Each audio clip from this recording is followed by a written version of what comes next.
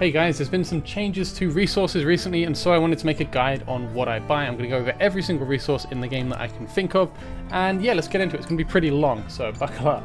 So mainly we're going to be focusing on diamonds, gold, stamina and everything inside the Dwarven Association. So we'll start with the Dwarven Association first off. And there are two main things you really want to buy all the time in here. That is the rare summoning crystals and huge stamina potions. Pretty much just buy them whenever you see them if you can afford it. Rare summoning crystals are incredibly important. You should always buy them because they are always on some kind of discount and you're always going to be summoning in this game. Summoning is incredibly important. Legendary heroes are incredibly important and building your roster is just the main goal. So absolutely buy the rare summoning crystals and huge stamina potions, you may not need them now. However, if there are competitive fusion events where you need to place high enough to unlock the decent rewards, or if there are really good events such as last Christmas, we had a two times gear raid event. So you really, really want to be stockpiling them for events such as that. So definitely buy the huge stamina potions when you can. Besides that, the main things that I personally buy, common and uncommon heroes here because they're really good to star up and to have loads of fodder prepared for events again. There are obviously awakening events and you do need a bunch of these and it just helps in general to have them. Find your own threshold for what you like, what you can afford. If you have loads, you might not need to. If you don't have a good amount of gold stockpiled, then obviously, you know, make your own consideration. There have been a bunch of changes to the black market in recent months as well. So now you can buy a flat stamina by itself and you can buy gear that goes up to the mythic quality. Personally, I don't buy the mythic gear and I'll show you why. If I go this, it just buys it immediately. I can't look at what its stats are. Only after I bought it can I look and decide whether I want it or not. Obviously, I don't want legendary, but you know that's the example. So I don't buy them personally. I was kind of on the fence whether it was worth it or not, but I just when I want to farm gear, I'll farm gear. Maybe it's worth it if you want to roulette, especially if you're earlier in the game. But this is tied to your account progress, so I believe if you're not very far in the game, you won't see the higher qualities of these gear in the shop. So it may not be relevant. As for the flat stamina in the shop, that's kind of up to you.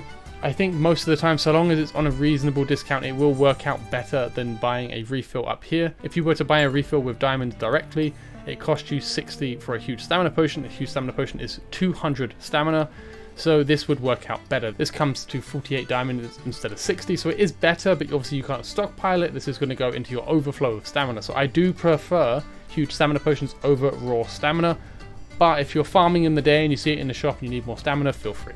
But personally, I like stockpiling huge stamina potions for events in particular. Now, aside from that, there are a few other things in the Black Market tab of the Dwarven Association. Namely, there are these insignias. This is kind of up to you as to how important they are. The main golden rule is never buy them with diamonds. Just never do it. It's not worth it. I've, I've actually complained to them a few times to remove this crap, and they, they haven't done it yet, which is upsetting. So this is kind of just a waste of slots. Buy them with gold sometimes. I don't mind doing it because I actually really find it annoying when I have to farm a whole bunch of them. You can see I've got a reasonable amount of some of the epic and the rare ones, but I do tend to buy them from the black market, so that does help a lot. I don't tend to buy the legendary ones because those are the ones that you're farming, right? When you're farming to get more myth extracts or farming to get these to promote heroes, they're quite efficient because it's the final one that you're farming, so it's not too bad because at least you'll be getting a whole bunch of myth extracts. So yeah, personally I am sometimes watchful to buy these ones with gold because it's just nice to build up, but do check, maybe you have enough and you don't need them, it's just something I think can be worth it.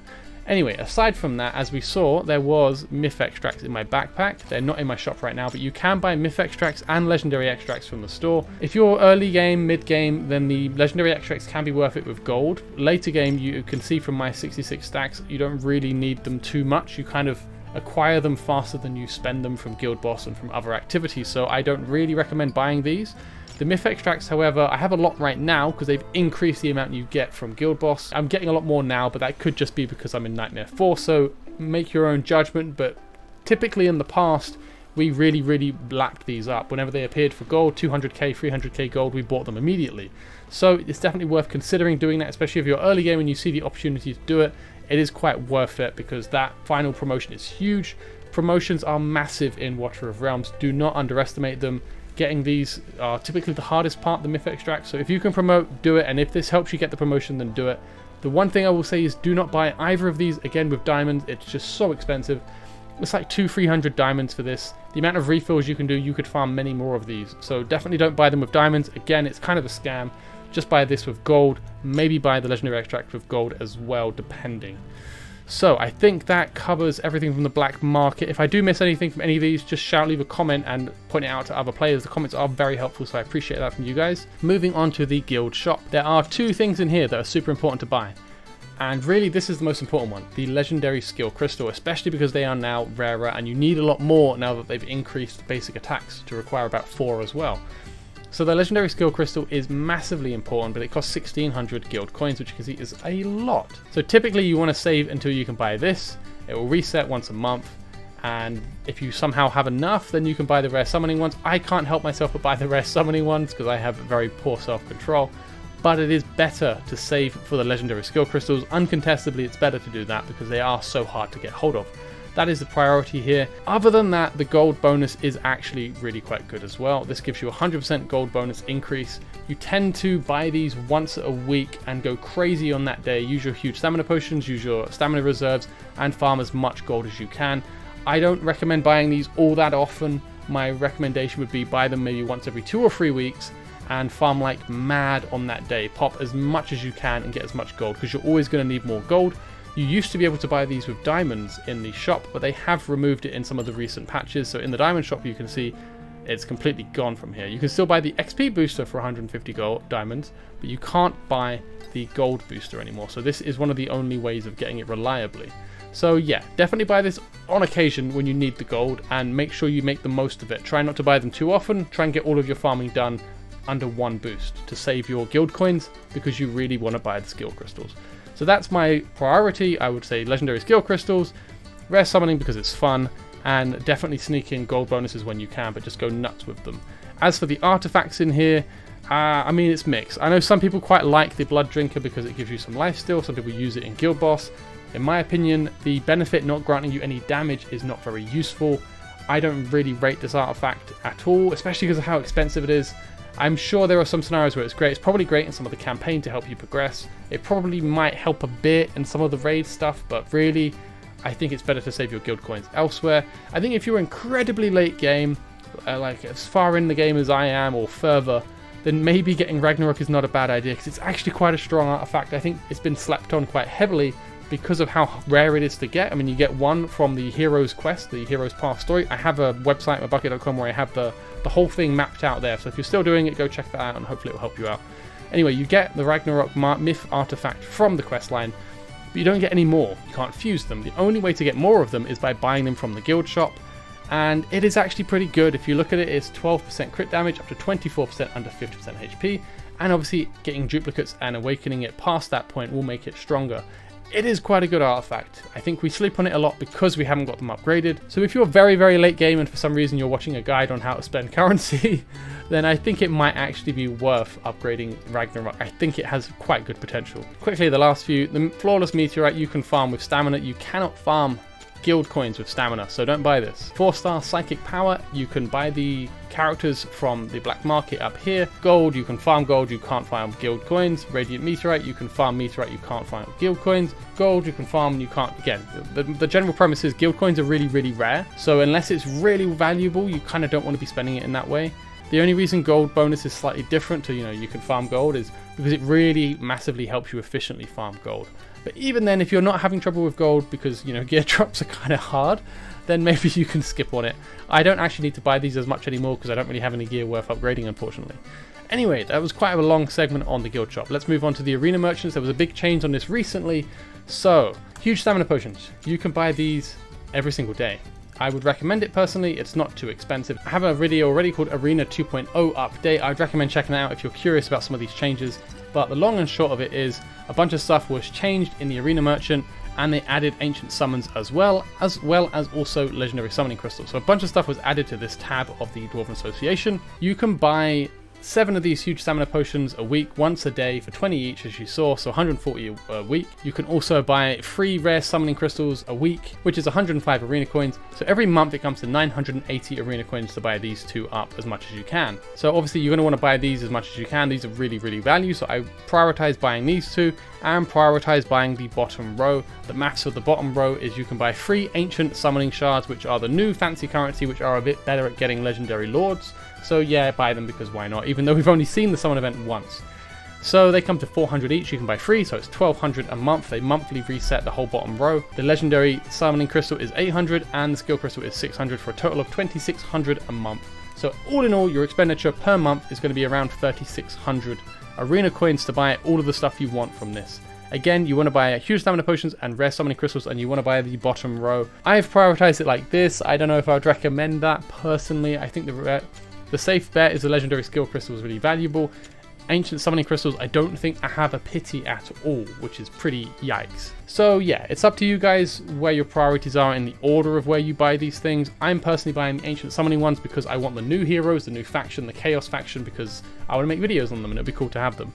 But yeah, I don't know. I don't think there's really any wrong way of buying priority of these guys, but I think these six are definitely the ones you want to buy. We'll quickly go over the rest. Epic Skill Dust, Epic Skill Crystal, and legendary skill dust. You can get these in a few other ways that are a lot easier and they're not competing with such valuable resources so I wouldn't bother.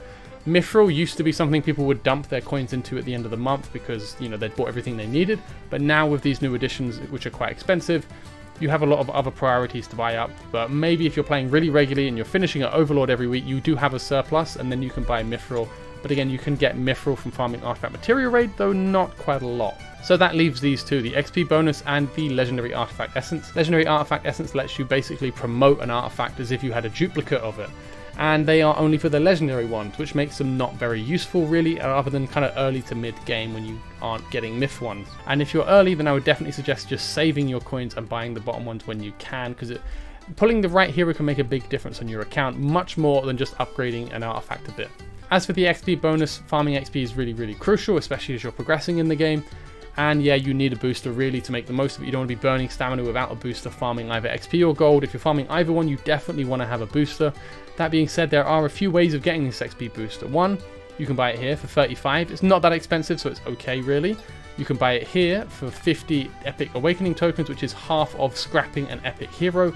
So kind of expensive, but I mean, the further you get, the more you'll have that occur. I don't recommend scrapping Epic Heroes unless you've already fully awakened them. That's my opinion. Some people are more willing to cannon fodder them. I prefer to be a bit safer. But yeah, in general, I think this is okay. It's only 35. It's not super expensive. So that pretty much covers the Arena Merchants tab, the top two in the middle, and the bottom row in its entirety.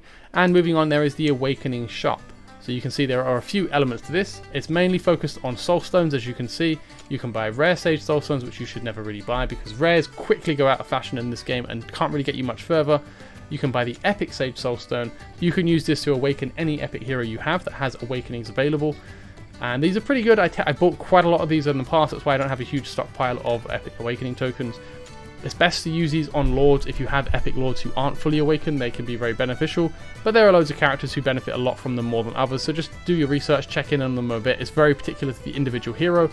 Dolores, for example, is great with Awakening, so yeah, you know, depends on that. And they always have free particular epic heroes that have a cheaper soulstone, so it costs 100 less. So you can buy a Greed's one and it will cost 400 instead of 500. There's only one of these and cycles every week or two. That it's kind of a slow, weird cycle. And lastly, there is a legendary soulstone. There's only one and it tends to be rubbish heroes from my experience. I have seen someone say that you can get the legendary lords appear in this, I've never seen it. Every time I've checked, it's like Shamir, Regulus, Nyx. It's the kind of heroes that have always been lower in the tier lists. And also to get this currency, this is the Legendary Awakening token, you need to scrap a bunch of legendaries. I think you get 100 per legendary you scrap. So I wouldn't really recommend scrapping any legendaries unless you're whaling a lot and then you've probably already got these guys to awaken 5 anyway. So yeah, I think it's okay to buy the XP boost. If you're early in the game, mid-level, even later in the game, the Epic Sage Soul Stones are fantastic to buy, and buy these as well if you ever need them. So that's my recommendation. It's kind of mainly just for the Epic Sage Soulstone. Anyway, I think that covers the Dwarven Association. So let's move on and have a look at the other resources. So we have diamonds. Diamonds is pretty simple.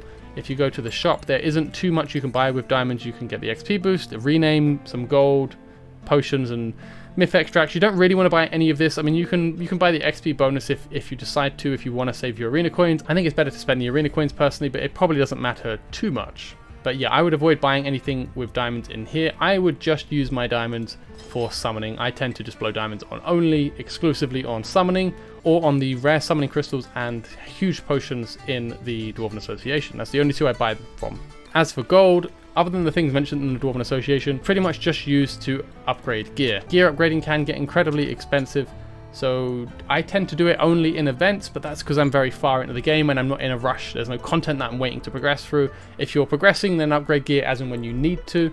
If you're kind of okay to wait a few days, then you know wait for the cycling upgrade event. It comes every week or two, I believe. I think they've got like a weekly cycle in all of the events. So yeah, that's the main source of your gold dump. That's where all your gold is going to be going, is upgrading gear. It can easily cost you 500,000 gold to upgrade a single piece, and some people say it takes up to a million. I haven't done it in quite a while to test, so I'm not too certain, to be honest.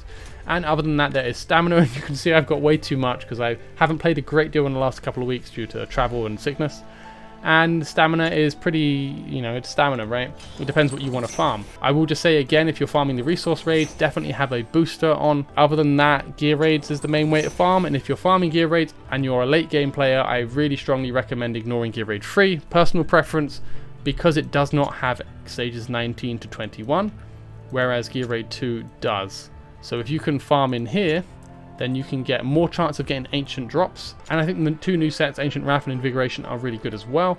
Also, you're not splitting your sets as much.